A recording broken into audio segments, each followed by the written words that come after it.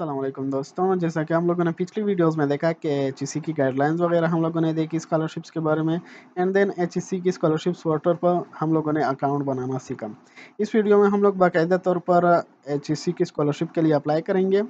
यहाँ पर जो करंटली स्कॉलरशिप चल रही है तो वो फाटा एंड बलोचिस्तान की है। अनाउंसमेंट में जो भी चलेगी, वो सभी यहाँ पर आएगी। एंड जो नहीं है, जो या तो आने वाली है या फिर गुजर चुकी हैं वो यहाँ पर होती है, जैसे हंगरी की है श्रीलंका की है, यूएस वगैरह की है, यहाँ से आप देख सकते हैं। तो ये सभी आती रहती हैं। अब अभी वाली जो है वो ये है तो हम लोगों ने लिंक पर क्लिक करना है। लिंक पर क्लिक करते ही आपके सामने यस एंड नो के ऑप्शन आएँगे। उनमें से आपने कुछ यू करना है कि पहले वाले में नो करना है, एंड बाकी चार में यस यस कर देना है, एंड उसके बाद नेक्स्ट पर क्लिक करना है। तो मैंने ऑलरेडी कर चुका हूँ, इसलिए मेरे सामने ये होगा। उसके बाद आपके सामने इस तरह का फॉर्म ओपन हो जाता है। यहाँ से आपने एडिट पिक्चर पर क्लिक करना है और अपनी पिक्चर अपलोड कर देनी है। आपके पास पासपोर्ट साइज़ पिक्चर होनी चाहिए, जो कि आपके फेस पूरी बॉडी ना लाए, बल्कि आपका फेस ही जिसमें वाज तौर पर नज़र आए।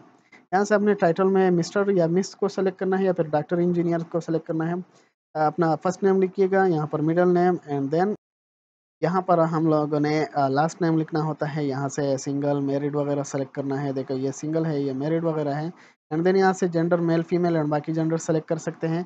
यहाँ पर डेट ऑफ़ बर्थ आपने सेलेक्ट करना है। यहाँ से ईयर सेलेक्ट कर सकते हैं। एंड मंथ्स वगैरह, यहाँ पर अपना father name and permanent address लिखना है। परमानेंट एड्रेस में इस तरह का अपना एड्रेस लिखिएगा। उसके बाद country city district and postal code select postal code अगर आपको मालूम नहीं है तो पोस्टल कोड के लिए आप इस तरह कर सकते हैं। जैसे यहाँ पर अपनी इलाके का नाम लिखिएगा और उसके सामने पोस्टल कोड लिख दीजिए। जैसे ही आप ये करेंगे, आपके सामने पोस्टल कोड आ जाता है या फिर नीचे कई वेबसाइट्स में भी होते रहते हैं। जैसे आपको पोस्टल कोड मालूम हो जाए, वो यहाँ पर लिखिएगा। अब आता है आपके पास मेलिंग एड्रेस तो मेलिंग एड्रेस भी आपने सेम इसी तरह करना है कि यहाँ पर एड्रेस उसके बाद city country city and postal code यहाँ पर आपका सीएनआईसी नंबर लिखा होता हो। एंड उसके बाद नेक्स्ट स्टेप पर क्लिक करना है।